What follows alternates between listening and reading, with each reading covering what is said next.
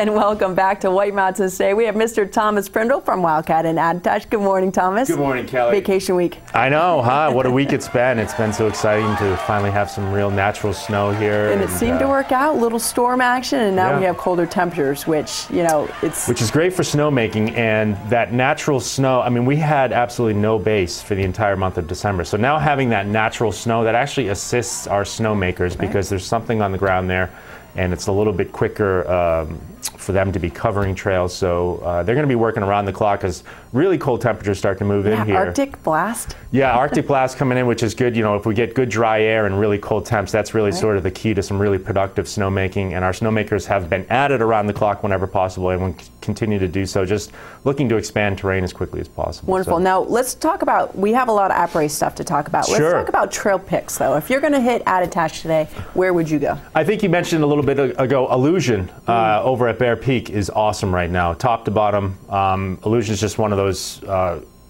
sort of sought after trails that really a lot of people like to go to. It's definitely a, you know it's a homologated uh, Super G and GS race trail, but this time of year for the general public, it's, it's awesome skiing and riding.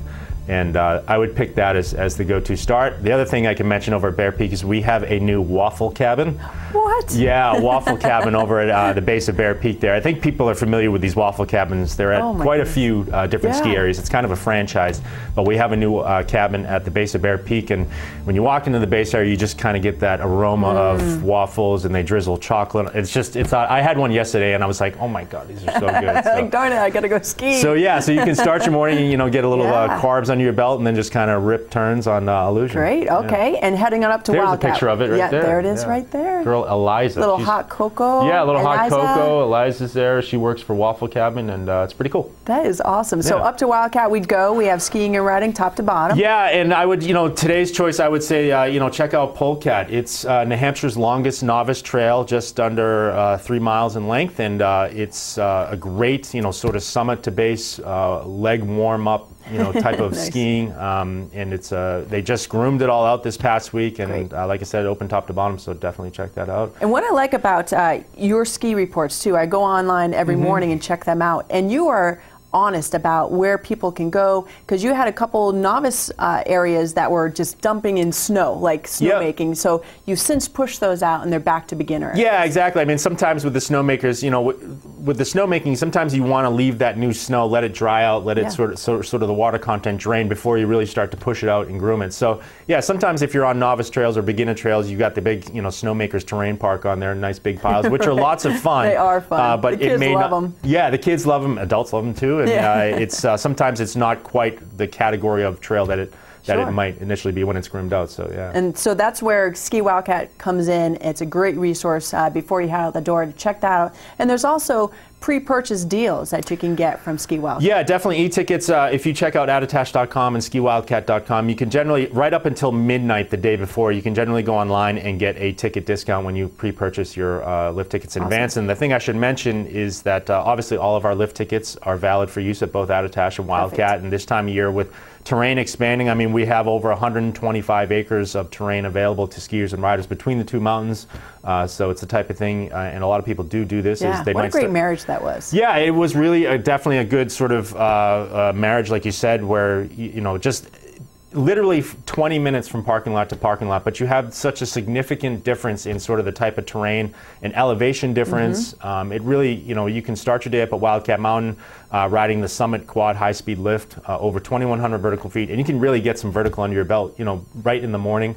Take a break, grab some lunch. You know, you can grab some lunch at uh, Wildcat or Attitash, or maybe stop in Jackson on the way down and then finish your day. You know, maybe pull right up to Bear Peak and finish your That's day there, perfect. or go to Attitash and finish your day there, and then enjoy the après and live music at uh, Very nice. Attitash. Which we're going to talk about in just a few, but I just want to mention yeah. real uh, quick the vertical value card also pertains to bo- both mountains. Awesome well. deal. Yeah, really a great way to, you know, if you're going to be skiing and riding at Attitash and Wildcat and Crotched Mountain too, down in southern New Hampshire, uh, the vertical value card, you buy that for $99. It comes with an any day ticket on it. Yeah. Uh, you can you don't have to use it the first day. You can save it for a holiday or weekend period, but uh, you get lift ticket savings all season long, uh, 10 to 50% off. So basically, awesome. 50% off lift tickets midweek, non holiday, 25% off on non-holiday weekends, and even 10% off during holiday periods. And there's other benefits with that that you can uh, bring a friend on non-holiday Mondays and Wednesdays, and that friend gets a di- uh, half-price ticket. So Great. a lot of good things there, and a lot of information that uh, people can find at attitash.com and skiwildcat.com. there you go. Okay, Yep. so you got the deals under your belt. Now let's talk a little app racing because you Sure. guys have it kicking up in both areas. Yep. Uh, the holiday week, we definitely have had uh, music going uh, all week long uh, at Attitash up in Ptarmigan's Pub and over at the Den at Bear Peak. And uh, this afternoon, upstairs in Ptarmigan's, we have Pat Foley, who is uh, quite popular, and he will bring his full band down to uh, Ptarmigan's Pub today. Uh, he plays a lot up at Wildcat, but we've had him uh, playing shows down at Attitash Yeah, too. popular. So, yeah, very popular. And then, uh, as we were talking a little bit earlier, Jonathan Sarty, who's quite popular as his full band, uh, definitely in the Mount Washington Valley, and he does his Cold River Radio show. And Right. he's, you know, quite a, a talented artist, musician, uh, band leader, and just, you know, really uh, an artist. And they Uh, do a lot of covers, but also a lot of originals. a lot of original music, and it's a unique situation today that Jonathan's going to be playing solo over at Bear Peak in the Den. Uh, so that's a really Awesome. small, intimate environment to be able to, to check out Jonathan Sarty playing over there today uh, at the base of Bear Peak. So, Very cool. And what times that start? Do you know? uh, I believe it for the Den. It starts at One or two? two o'clock. Well, you can check the website. Yeah, I think too. it's two o'clock for the So- Den, and then at Ptarmigan's it starts at three o'clock and Okay. goes till uh, I think about six o'clock. so. Okay, wonderful. Okay, Yeah. so we got the app racing. What else? I know you. brought Yeah, um. I want to mention that up at Wildcat we also have après going Mm. on. Um, I do want to mention every Friday afternoon uh, we sort of have a residency with uh, local uh, musician artist Ryan St. Ange. Oh, yeah, he's yeah, he's great. quite popular, Yeah. and he's basically playing up at Wildcat Mountain every Friday afternoon. Nice. So I just want to mention that and plug that so people can check him out every Friday afternoon. And then today up there in the pub we have Justin James playing. So uh, again, another great spot to be enjoying after a day of skiing and riding. Uh, the Wildcat Pub up there. Third floor in the lodge. yeah, third floor, top floor at the lodge. So yeah. Very cool. And we can't forget Tuesday Race League starts up. Yeah, thanks for mentioning. Yeah, uh, the Attitash Race League is uh, obviously another local race league. There's lots of great local race leagues around here. Attitash is every Tuesday, and uh, it starts up this week. And we don't have the normal venue, uh, which would be Spillway, uh, quite ready. So it's rather unique. This year, we're going to be starting the first race over on Illusion. Oh, really? So Oh, yeah, it's, we're kind of excited to be doing that. I mean, it's not the normal thing we'd want to be doing, but we're able to accommodate it over there Yeah. and kick off the race league. And there's still opportunities for people to get involved with the Attitash Race League. It's nine weeks of racing, but there are also some weeks there that you can take advantage of the benefit of skiing on the Tuesday, even though it's not a race league. Yeah. Um, and I will say it's $100 to uh, sign up to be part of the race league, and that includes your lift ticket uh, for all those Tuesdays. So basically, you have an opportunity um, to be skiing. You know, I think well, up to 12 weeks. up to 12 weeks, but it, it would have started uh, last week. So, So you've missed weeks. it. Yeah, exactly. Yeah, yeah. nine weeks of racing. So nine, nine weeks for sure, definitely with the racing, and uh, and then they have a post week party, and there's all types of. Uh, they do. Uh, he does. Uh, Corey does great, like sort Yeah. of post race party up in um, Ptarmigan's where they do prize giveaways and stuff, and it's lots of fun, and uh, we video it, the racing, and it's it's a great opportunity for people to be getting out weekly. And again, for hundred dollars. Uh, to get that much skiing and riding is, is a great deal. Absolutely. And then last thing, the well, no, not last thing. We have two more things. We have the youth pay their age, and then we also have the Guinness Book thing. Yes, next Sunday is uh, another great ticket opportunity in addition to the uh, e-tickets we talked about in the vertical value card. We do have these sort of uh, deals, these uh, special date deals, lift ticket deals going on all season long. And one of the first ones is next Sunday, January 10th. It's youth pay their age. It's pretty straightforward. That's awesome. Yeah, ages 6 to up to 18 will pay their age. Uh, and this is a ticket discount that's available right at the window. Uh, Great. so you don't need to pre-purchase or anything like that.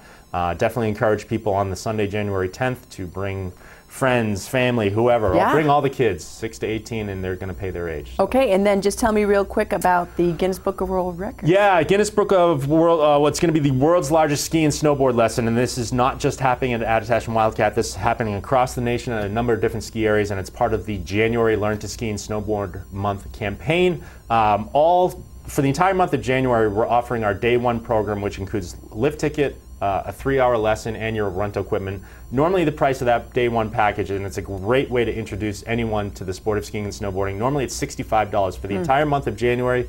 We're doing it for $29, excluding January 16th through the 18th, which is the MLK weekend. Oh, okay, great. But for the entire month of January, people can uh, sign up for that for $29.